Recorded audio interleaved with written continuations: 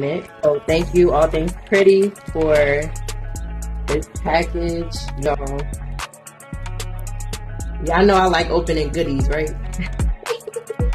so I supported a black owned business on Instagram. I looked through her through her page, through her website, and I saw that she has some bonnets available. So number one of the bonnets. Okay. We got the Dior pink and white bonnet. Yes. Let's try it on.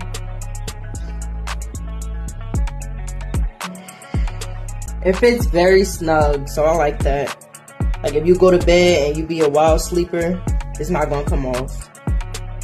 I love it already. Like next we have pink and black Chanel.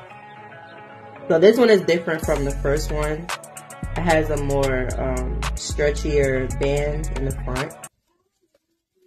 This one, of course, is not going. It's not going to slide off either. Oh, I like this one. Last bonnet that I have is pink and black. So I'm looking like a chef, yeah. And then she added some supply